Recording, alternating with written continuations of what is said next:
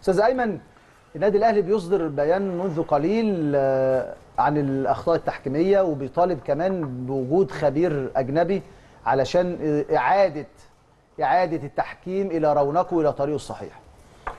آه، يمكن أهم جملة في بيان النادي الأهلي يا كابتن أسامة توفير الأجواء الصحية تساعد الخبير الأجنبي لأن الخبير الأجنبي لو جه من غير توفير الأجواء الصحية ولا وجوده ملوش أي لازمة.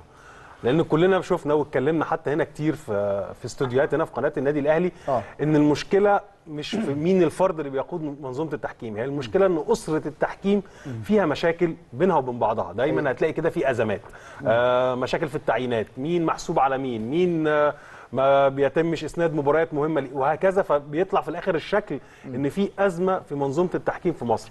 بعد كده تلاقي إن حكامنا لما بيطلعوا في المحافل الدولية إلى حد ما بيظهروا بشكل جيد جدا. وشفنا حتى كأس الأمم الأخيرة كان الشكل على ما يرام وأفضل تمثيل كان للحكام المصريين كان في النسخة الأخيرة لكأس أمم أفريقيا. طيب ما بنشوفش ده ليه في ال في ال في الكرة ال- في الدوري المصري أو في كأس مصر أو في السوبر المصري؟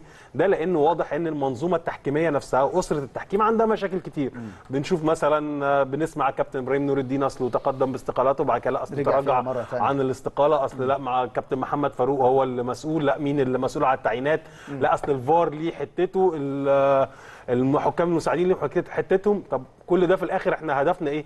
إن يبقى في الملعب الحكام زي ما كابتن كده محسن قال يظهروا في أفضل صورة. النهارده هاخد من كابتن محسن جملة مهمة جدا قالها إمبارح الخبراء التحكيميين واثنين منهم كانوا على نفس على قناة واحدة بيقولوا آه، آه، قرارات مختلفة. حد بيقول إن القرارات صحيحة وحد تاني بيقول إن القرارات غلط. طب إحنا فعلا النهارده الم- المشاهد والمتلقي هيعمل إيه؟ لما النهارده في اختلاف على لاعب جدلية وليها تأثير في نتائج المباريات.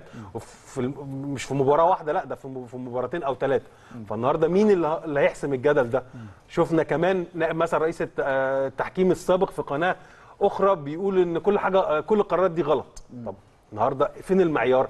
فالنهاردة ده معناه إن في أزمة. طيب إحنا عايزين ليه خبير تحكيم أجنبي يجي يطور الحكام ويديهم الثقة ويعلمهم وفي نفس الوقت يعلمنا. كان كلاتنبرج عامل حاجة جميلة كان جدا عامل حالة عظيمة. الفيديو اللي بيطلع بياخد أهم القرارات كان الجدلية. بيحط الحكام قدام مسؤولياتهم بعد المباراة. بالظبط كده. أنت النهارده عارف القرار ده تفسيره إيه. الدوري الإنجليزي النهارده في اللايف آه، آه، في في في التعليق المباشر لمبارياته بتلاقي إن في لو في قرارات جدلية بتلاقي هم على طول بيحطوا القوانين بتاعتها والمواد بتاعتها ويشرحوها للناس. الأخطاء التحكيمية تفضل موجودة ولكن المشكلة لما تبقى كتير ومتكررة هي دي هنا الأزمة.